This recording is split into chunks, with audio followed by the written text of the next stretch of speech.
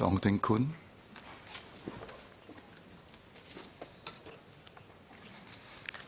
Chairman, digital services have become an increasingly central part of our lives.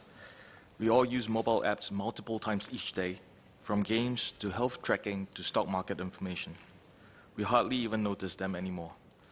They have become so fundamental to our lives that the UN has even spoken of protecting internet access as a key element of protecting an individual's rights.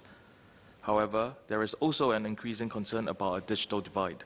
Lower income groups are going to be disadvantaged if they lack exposure to the digital world due to affordability concerns. Apart from the lack of access to more affordable substitutes for physical services, they may also fail to acquire essential skills needed to work productive, productively in the digital age. If children from lower income households miss out on digital experiences, we risk creating a permanent underclass. S- significant steps have already been made to address this issue, such as the Home Access Program, which provides eligible households with two years of subsidized fiber broadband. Free Wi-Fi hotspots are also becoming increasingly common. What more can we do to ensure that digital connectivity is affordable for the vulnerable and disadvantaged segments of our society?